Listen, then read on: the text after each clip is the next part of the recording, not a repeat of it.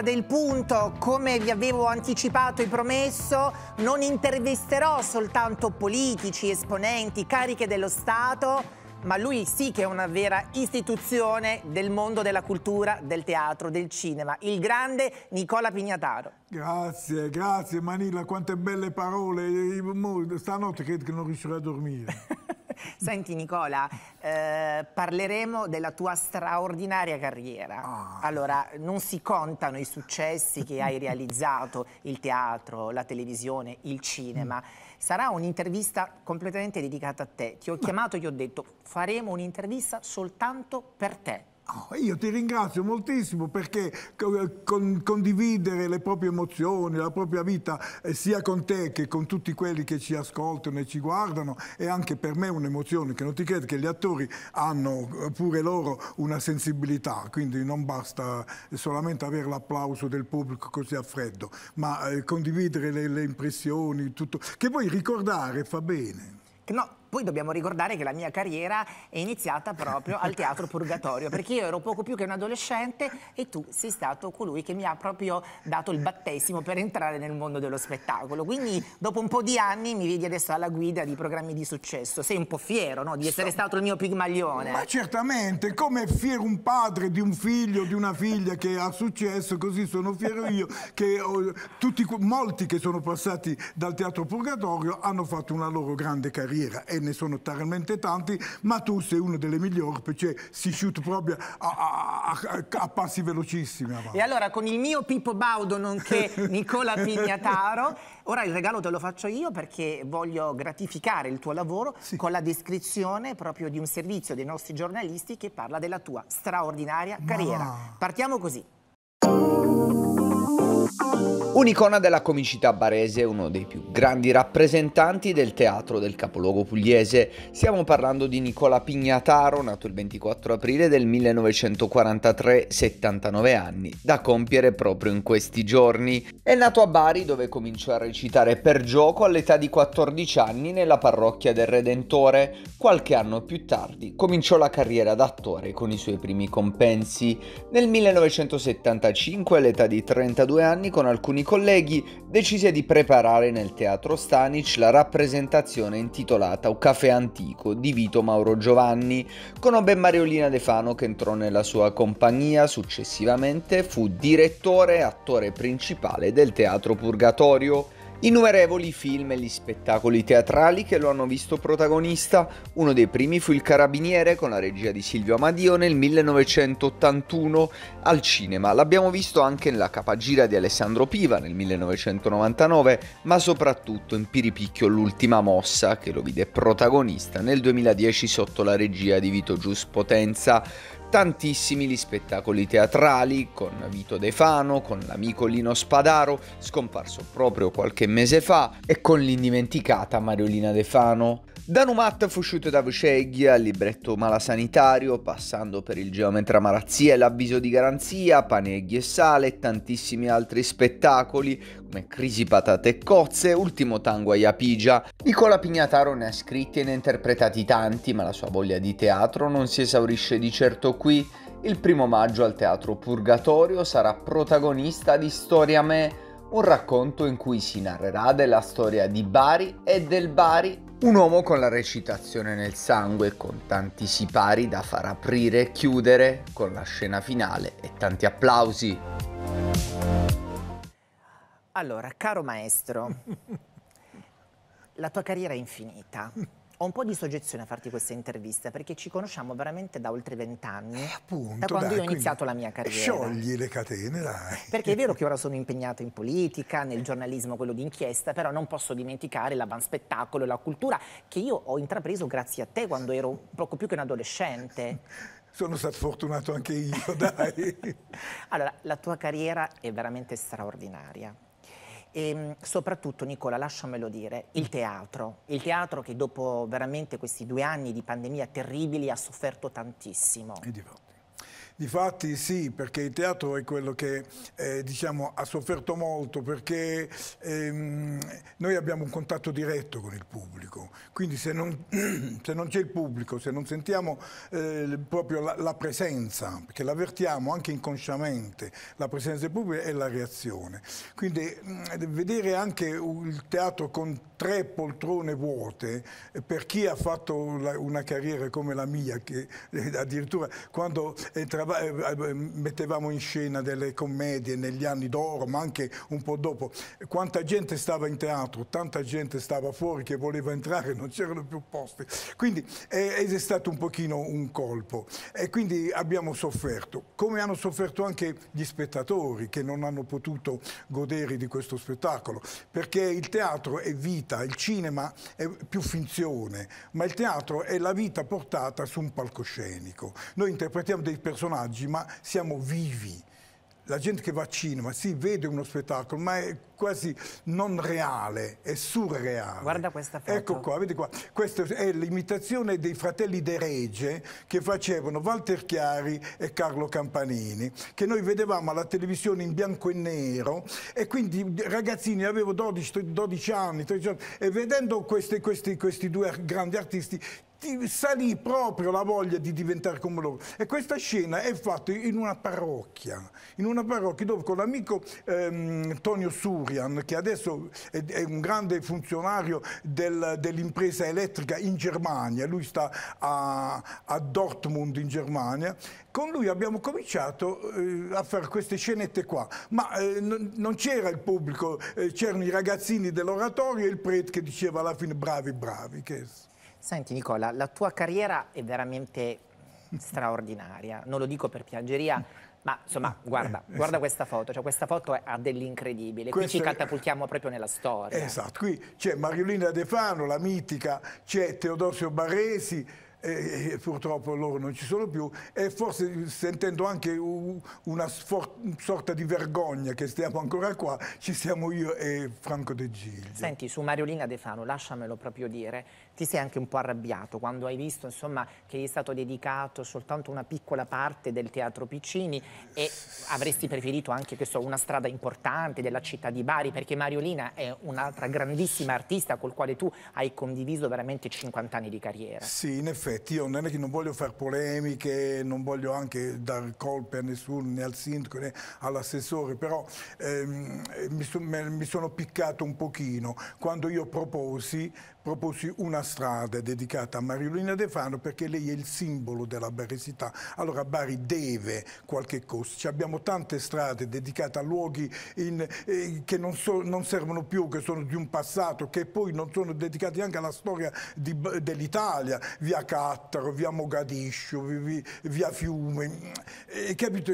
È una storia passata e forse anche mm, una brutta storia. Allora dedicare una strada a Mariolina, io feci addirittura un gruppo gruppo su Facebook di una strada per Meriolina, si riempì di gente, ma purtroppo mi hanno detto Beh, che non però, si, però non a te hanno detto di no, ma siccome io, insomma, detto tra me e te al massimo che un milione di telespettatori, siccome li conosco tutti, magari gli faccio una chiamata anch'io, gli dico al presidente Emiliano, al sindaco De Caro, all'assessore Ines Pierucci che frequentano tutti la mia trasmissione, magari ascoltano il nostro appello, eh, intitoliamo una strada per Mariolina De Fano, che se lo merita. Che non sarebbe un, un, un dono fatto a Mariolina De Fano. Mariolina De Fano purtroppo non c'è più, lei ci sta guardando da lassù. Sarebbe un dono fatto alla città di Bari, perché io quando nomino Mariolina non occorre che dica neanche De Fano. Mariolina, tutti quanti eh, proprio fanno questo respiro qua. Quindi perché lei è stata l'anima, è stata quella che insieme a me ha riscattato il dialetto barese, che prima di noi... Era visto come un tabù tabù. Sì, addirittura veniva visto anche come qualcosa di non, di non uh, civile, perché le mamme rimproveravano i figli, non parlare l'indialetto parla l'italiano, non sapevano parlare neanche loro l'italiano e dicevano a noi di non parlare l'italiano. Questo è il trio che poi di, fece, diventò famoso prima del trio della televisione. Questo qui stiamo nel 1978, quando eravamo un quartetto famosissimo, quando uno dei quattro se ne andò, noi, rimanemmo noi tre e facemmo un qualcosa di meraviglioso perché in meno di due mesi io e quel signore là che si chiama Lino Lino Spadaro coadiuvati da Mariolina, ma il testo lo scrivemmo prima noi, poi Mariolina eh, si beò eh, e ci mise qualcosa anche di suo, eh, con, si chiamava Faiele. Eh, Manila, noi nel 1978, io e Lino Spadaro, abbiamo già da allora fatto la prima grande protesta contro eh, chi si opponeva al, eh, ai diversamente, come si dice... Va bene, eravate a favore di ah, tutti coloro di che si sentono que diversi. Oh, già nel 1978. 78, infatti sembra... quella camicia richiama proprio i colori LGBT, vedi, a non esatto. saperlo. Quindi sei uno molto avanti. Noi, noi, noi diciamo perché, perché questa era la storia di una famiglia normale che aveva un figlio con tendenze eh, gay. Allora il padre eh, giustamente dice, ma ne dici miei, e la mamma lo difendeva perché è, è, la mamma. E da qui piano piano, piano piano nasce una storia meravigliosa, con un finale positivo, già da, nel 78. Che cosa ti manca di più di Mariolina De Fano? Eh, la, la, la, compagnia, mi, mi, manca lei, mi manca la sua esistenza. Io sono stato il primo a metterla sul palcoscenico e forse l'ultimo a, a, a, a, curarla nel, nell'ultima fase della sua vita, perché lei non lavorava più, gli feci fare l'ultimo spettacolo della sua vita, io e Pino di Modugno e lei al Teatro Team. Facciamo uno spettacolo e e dove lei già non ce la faceva quasi più, difatti eh, facciamo le prove. E l'ultimo spettacolo fu quello e dopo non ha fatto più niente. Le barzellette fatte con Moodoo erano tutte precedenti. Quindi l'ultimo spettacolo lo ha fatto con me e purtroppo dopo parecchi anni eh, io l'andavo a cercare, mi chiamava alle tre di notte. Però sono Mariolino, Mariolino a che so? E non poteva dormire, e non mi fai dormire a me. E quindi ci passavamo... Vi legava una grande amicizia. Passavamo mezz'ora, tre quarti d'ora a dire cose. Pur di, pur di, ricevere la tua compagnia. Esatto. Senti, te lo ricordi Perché questo eravamo... momento? Era un momento natalizio. Sì, e, e qui non, non, stiamo neanche facendo uno spettacolo, siamo in un posto, in, non so che cos'è, sì, da, da, dal tavolo sembra che sia un ristorante o qualcosa. Andavamo, ma io credo che questa sia all'estero. Questo credo che sia uno spettacolo fatto all'estero, perché io e lei abbiamo fatto spettacoli in Belgio, in Lussemburgo, in Germania. Ecco, Noi... a proposito di questo, cioè tu oltre ad essere un attore affermato a livello locale, sei molto apprezzato in tutto il mondo. Eh, perché forse se sono bravo, ce ne so. No, perché ho dato molta importanza a, a, agli italiani all'estero, io non mi sono fermato qua io eh, cominciai, grazie anche, devo dire la verità, al, alla Regione Puglia, che aveva un assessorato all'emigrazione. E allora c'era anche un giornale che si faceva Puglia Emigrazione, si chiamava, eh, diretto da un barese eh, Angelo... Che ti aveva proprio scelto come testimonial di questo progetto. Mi chiamò perché per andare a portare il, il, il, il la pugliesità e la baresità nel mondo... Bisognava andare a dare il dialetto, perché tutti mm, gli italiani che erano emigrati con i primi eh, flussi migratori avevano dimenticato eh, l'italiano, avevano imparato un poco la lingua del paese che li aveva ospitato, ma non avevano dimenticato l'italiano, anche se lo mischiavano un poco con la lingua che, che quando andammo poi in America c'erano italiani, eh, ciao, eh, eh allora, eh, sono uscito a casa because u car, non quindi questo dialetto inglese mischiato così, e quindi nasceva proprio un intimo. E io e Mariolina siamo andati nelle miniere di carbone del Belgio, là dove ci fu il, il danno, eh, la tragedia di Marcinelle,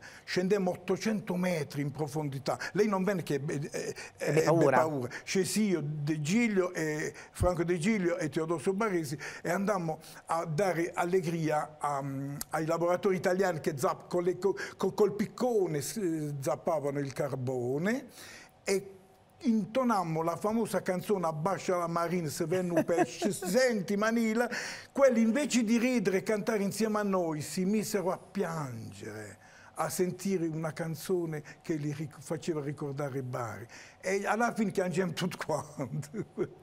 Senti Nicola, eh, tu sai quanto io ti sostengo anche nelle tue battaglie. Eh, il purgatorio eh, non è solo la tua seconda casa, ma è la seconda casa di tanti baresi e di tanti pugliesi.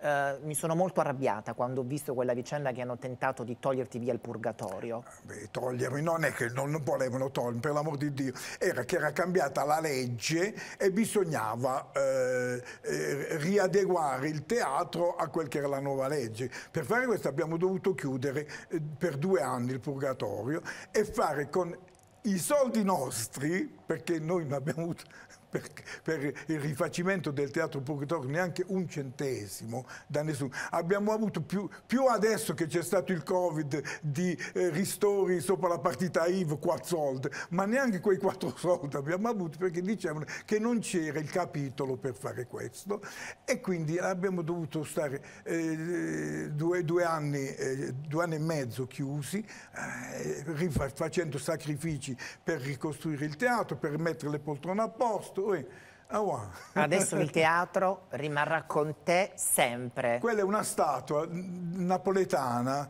di, di ceramica napoletana, si chiamano, eh, sono gli, quelli che fanno entrare i, i, gli spettacoli, eh, gli spettatori nel teatro, che, le tarantelle si chiamano, uno di qua, uno di là, dall'altra parte, che fa entrare gli, gli spettatori dentro. Nicola, una carriera lunghissima. Mm fatta principalmente da, di teatro, ma anche di televisione sì. e anche di cinema.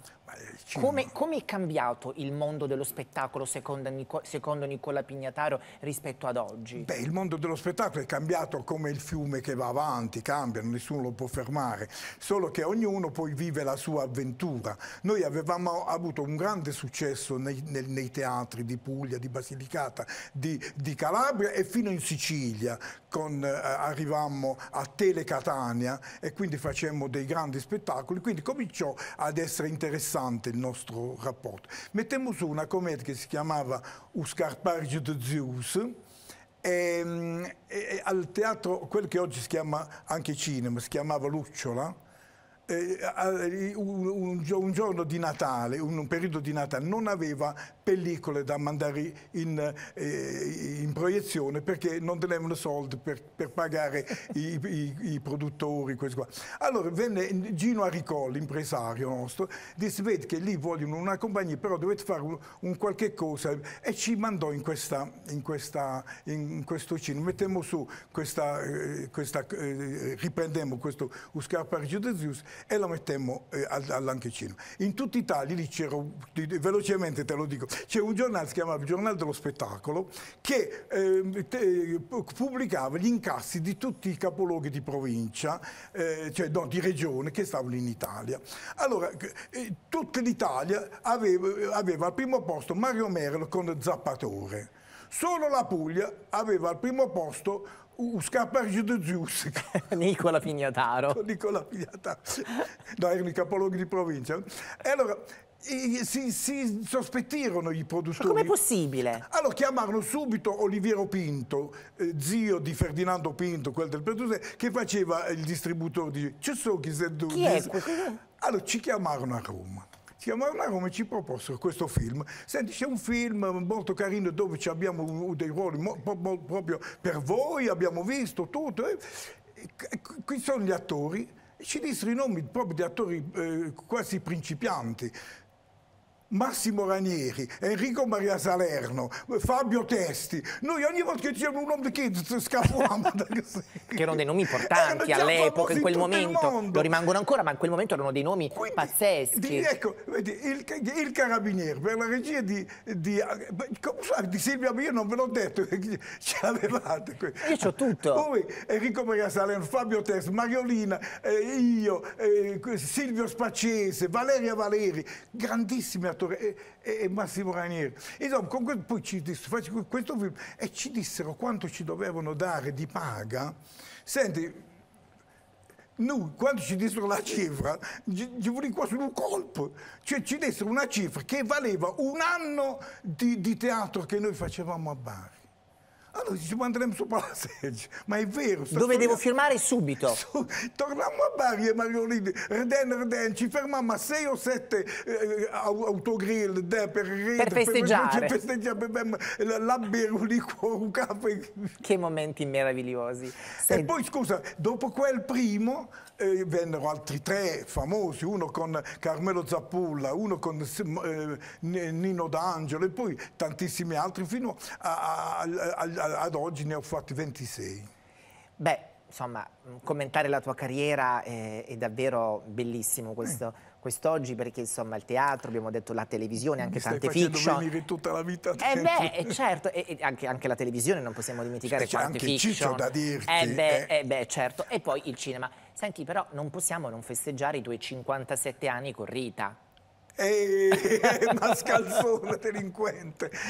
Oggi sì, 21 aprile, Natale di Roma del 1965, io e Rita, romana di Roma, figlia di un direttore di cinema e teatro, Peak, e convolammo a giuste nozze, come, come conosciuta? Nella chiesa del Redentore a Bar è una storia, l'ho scritto sul libro Guardami Rita, non so se... se certo che lo so, ma io voglio condividerlo con i telespettatori. Eh sì, allora facciamo veloce veloce. Io sono bravino, bravino a fare del, dei disegni, facevo le caricature, le qui sono bravo proprio a fare i volti, però feci un volto di una donna bionda con gli occhi chiari, e, proprio sembrava quasi una fotografia. Era così, la facevo talmente tante volte che me la facevo a memoria proprio su, sul, eh, su, sul, diario de, de, de, della scuola, su, sulla gazzetta facevo sempre questa, questo volto. Facevo mia madre, chi è questo? E la città a me. Ma non esisteva.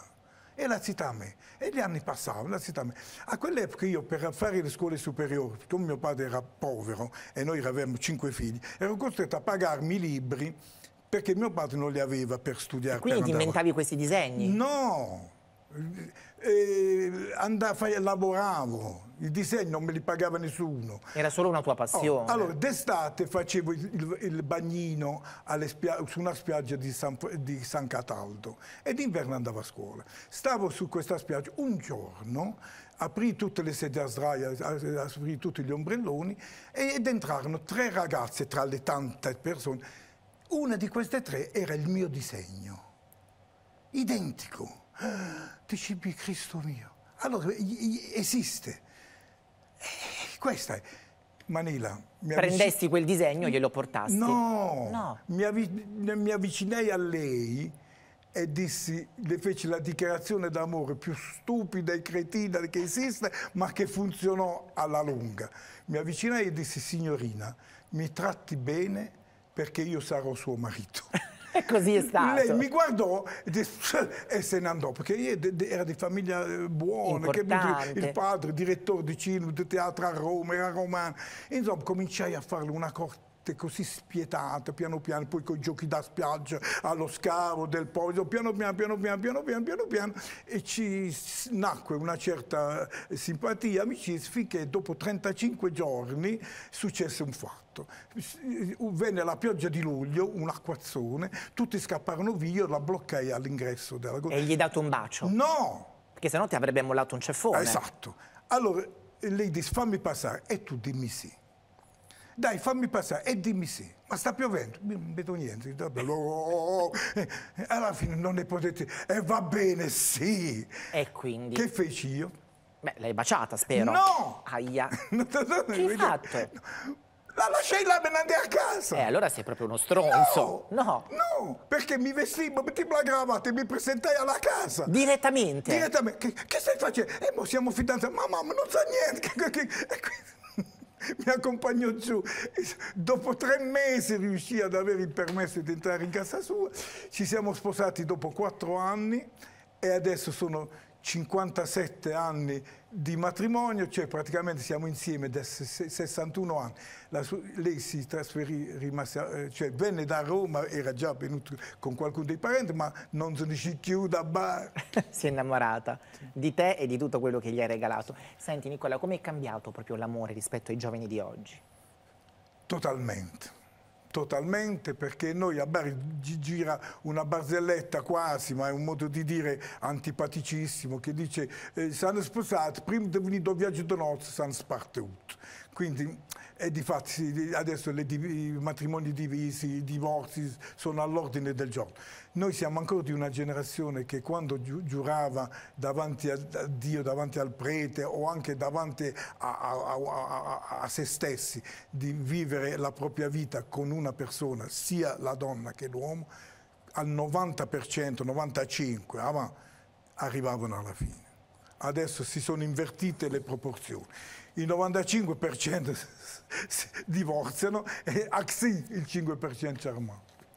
Allora, parliamo di teatro perché siamo in promozione in questo momento della trasmissione, perché è proprio doveroso certo. parlare del tuo ritorno a maggio, perché il Teatro Purgatorio, abbiamo detto prima, è la tua seconda casa, ma anche la mia, ma anche quella di tanti pugliesi e baresi. Certo, certo. Allora, ci vuoi raccontare in anteprima questo nuovo spettacolo? No, non è un nuovo spettacolo, è un'idea che è venuta a, a, Max Boccasile, a Michele Salomone, a me, a tutte e che tre. Che salutiamo. Che salutiamo senz'altro.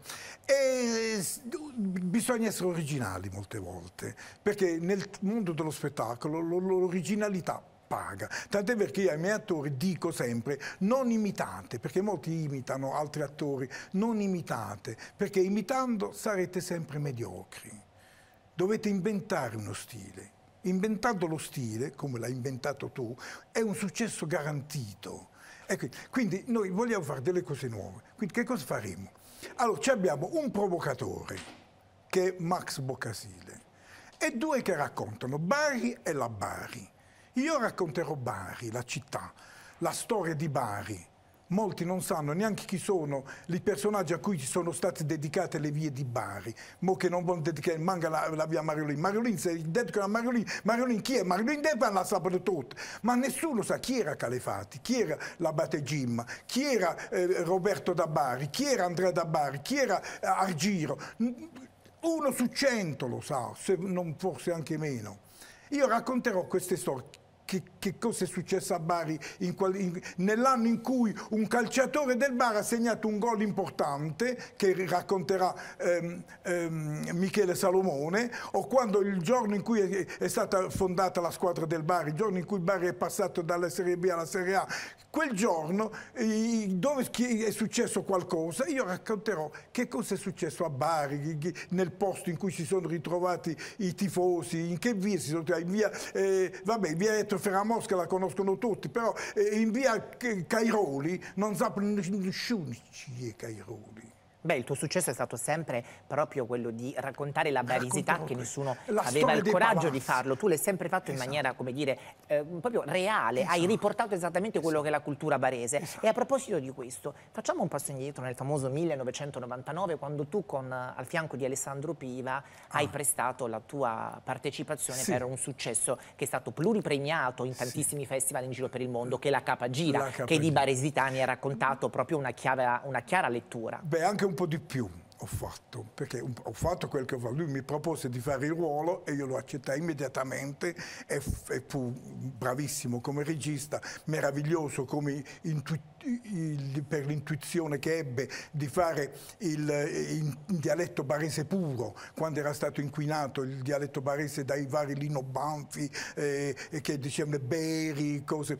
E l'altro che quel film quasi per eh, la totalità, è stato scritto in un locale di mia proprietà, un pub che sta a Bar, che si chiama Barbon Street. Andrea Piva era un, un cliente del che bar, frequentava questo tuo locale. e su quel tavolino ha scritto il copione di della la, la, sceneggiatura della Capagira. Io lo, lo guardavo, ci stava, eh, piano per forza fu per questo che lui eh, mi segnalò al fratello, oppure il fratello già mi, mi, mi conosceva, Alessandro, e quindi entrai in quel cast. Il fatto che il dialetto barese fu tradotto in, in italiano fu la chiave vincente, ecco un'altra novità. Perché diciamo noi, scusa, ma i film cinesi, giapponesi li traducono in, in, linea, eh, in lingua italiana, perché non il barese vero? E qui è successa una cosa meravigliosa. Quando andammo a Berlino e, e tutti quanti ci al guardavano... Al Festival, no? Al Festival di Berlino, al, all'Orso d'Oro, che è il secondo festival del mondo dopo il, il, gli Oscar americani. E stavano mica gente così, stava Wim Wenders con The eh, Million Dollars Hotel, stava George Clooney con The Three Kings, stava Leonardo DiCaprio con eh, eh, film su... E voi con la capa gira. E noi, allora, e tutti i giornalisti, tutti dietro a noi, ci volevano intervistare. E chi dall'albergo faceva, ma chi, chi cacchio sono? e qui è successo un fatto, che venne questo Tonio Surian, l'hai visto? Lui sta in Germania, a Dortmund, venne a Berlino, venne a Berlino a vedere la prima della Capagira. A un certo punto lo sento di ridere. Oh, che stavo, diceva una cosa, allora, non potevo dire, quando finì il film, dicevo, Tonio, ma perché mi sta ridendo? Perché voi avete detto le morte de, de Mamet, no, le morte d'attente, e quelli hanno tradotto sotto in tedesco i defunti di tuo padre. che non c'entrava nulla perché morte d'attente è una frase idiomatica che, che, che, che usiamo i, nel nostro dialetto. Esatto, i defunti di tuo padre. i defunti di tuo padre. Inizio a ridere senza sosta. Rise tranquillamente. Quindi. Senti Nicola, voglio chiedere alla regia se mi mandano una foto di te da solo. Vediamo se nel repertorio questa sorpresa. Vediamo una foto di Nicola Pignataro, adesso arriva. Vediamo una foto. Oh! Ah! Allora, questa foto di te. Innanzitutto devo ringraziare la mia e la nostra autrice Maria Rosaria Coppola che fa un lavoro straordinario che nella selezione trovata, sì. di queste foto e di testi perché Maria Rosaria è incredibile. Questa è Quindi, una commedia meravigliosa. Questo è merito, di, merito, tuo ma merito di Maria Rosaria per avermi trovato ah, tutto questo materiale. Sì, sì, quindi la volevo ringraziare e ne approfitto. Io e non quindi, te l'avrei portato comunque. Lei, lei, va a scovare ovunque, non so come fa ma devo capire Va i segreti. Bene. E allora adesso tu mi dici dove eri qua. Qui stiamo, sto al Teatro Purgatorio. Questa è la commedia Amore a terza vista. Tornando indietro, oggi l'amore a prima vista non funziona più. Perché quando si sposa a prima vista, come ho fatto io, i matrimoni adesso crollano. Qui bisogna neanche la seconda vista, la terza, un, un, matrimonio si fa quando uno è ponderato, quando il rapporto è capito da tutte e due. Ed infatti questo, Amore a terza vista, è una storia meravigliosa di una coppia che ehm, ha un matrimonio che sta per crollare, tant'è vero che loro si dividono perché hanno due figli moderni, che sono tu, uno che becca il computer, uno che fa il Q, e il padre mm, li, vuole riportare sulla retta via di camminare come dice lui. La madre, come al solito, li lascia andare, no, alla fine il padre sbatte la porta e se ne va. Lui torna dopo due anni perché c'è un, un, uno scienziato americano che ha inventato uno, uno stile per far eh, riaccoppiare le coppie eh, divise e quindi dice l'americano che devi, essere, devi, entrare nel mondo dei giovani, devi parlare come loro, devi vestire come loro, solo così potrai capire il loro mondo. Quando lui capisce alla fine del primo atto, dopo un casino di risate e cose, si presenta così nel secondo atto ai figli che deve andare a vedere una, il concerto di Vasco Rossi allo stadio e così. Nicola, con questa foto trovata negli archivi della tua carriera sì. così piena di colori, sì. così come la tua camicia che hai addosso, sì. straordinaria, anzi te la, te la, rubo per una puntata, io voglio sempre vederti così, con questo sorriso indelebile, perché fai parte del mio cuore, ma anche del cuore di, di molti telespettatori. Tu, tu mi stai tirando fuori tutta la vita mia. Eh, ma mica finisce qua. Anche se ho delle cambiali da, da, da andare a pagare. Vabbè, ma quelli ce li abbiamo tutti. Ma noi continuiamo, perché quando vuoi qui al punto sei benvenuto. E continuiamo questo viaggio Quindi, perché guarda ho tante di quelle cose Quindi ancora non da... mettiamo il punto. Non mettiamo il punto mettiamo una virgola e torniamo ancora con Nicola Pignataro. Promesso? sì allora scrivi continua. Continua va bene lo faccio grazie davvero. Già è volato il tempo è volato il tempo. Allora, ti voglio bene un grande. a te e agli spettatori. Grande grande Nicola Pignataro nel mio cuore e nel Ciao. cuore di tutti i telespettatori di Antenna Sud. Grazie